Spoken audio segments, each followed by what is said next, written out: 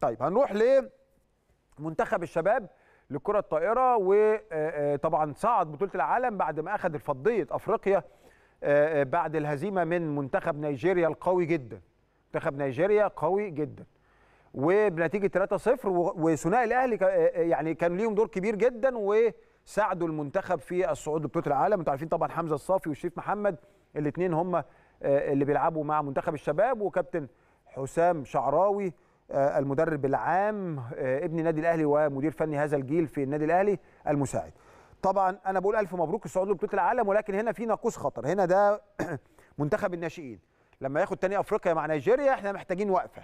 محتاجين نعرف ليه الخسارة وليه ما خدناش بطولة أفريقيا. آه، آه، لأنه أنت بتتكلم على مستقبل. الفرق دي مستقبل. اليد ناشئين وناشئين وشباب واخدين البطولتين أفريقيا فرق 20 هدف مثلا في النهائي. يعني إحنا الحمد لله راكبين في اليد جامد. الطايرة هنا محتاجين وقفه الاتحاد محتاج عنده أجيال كويسة وعنده أجيال قليلة. الفريق الأول ضعيف أو أو قليل. الفريق الأول في الكرة الطايرة منتخب الشباب كويس منتخب الناشئين واقع- فإذا عنده قوة وضعف في بعض النقاط عشان يبقى حقانيين. ولكن في أزمة في الطايرة ومحتاجين طايرة تاني طايرة غير السلة.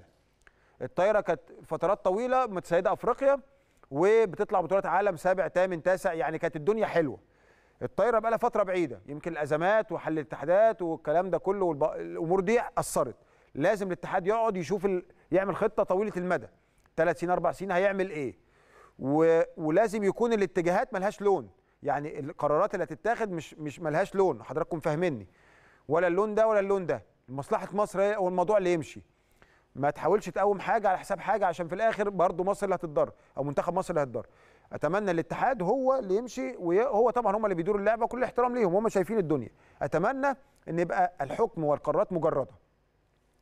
أنا بقول لك الكلام ده عشان في الآخر منتخبات مصر هي الهدف وهي الأساس. اسم مصر هو اللي لازم يكون في المقدمة دايما.